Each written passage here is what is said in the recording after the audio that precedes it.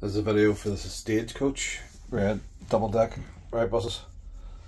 Start same as most of the double decks now. Battery isolator. Then behind the driver's seat on the right hand side. Turn it on. Fire the system pressure okay.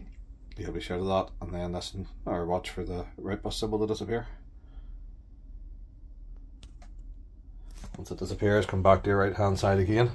Turn your battery master on. Back to your dashboard. Fire system pressure okay. looking for the battery master just above the zero. Now the difference in this bus, there's an immobilizer key here, just to the left of the master. You just lift it out, put it back in again, then you're up to your power button. Turn it on. You'll get your weight. And go through the normal system checks. I'll say ready to start in blue. Again there just above the zero. Come back again to the immobilizer. Pull it out. Put it back in. Press your foot onto the brake. And then the start button.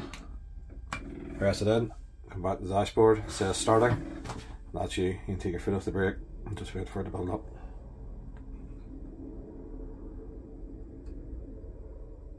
Alright, it says ready, that's it ready to go. Again, we dial to the right. If you turn it to clockwise, I'll bring up your air pressures.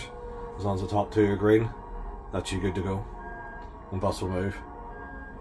For the finishing procedure, handbrake on into neutral. Just press your power button on the right hand side once. The light goes out.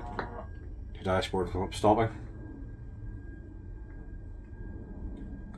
That'll say battery master above the zero again. Come back to your right hand side, turn it to zero. Your dashboard will so shrink away and disappear once the dashboard's blank.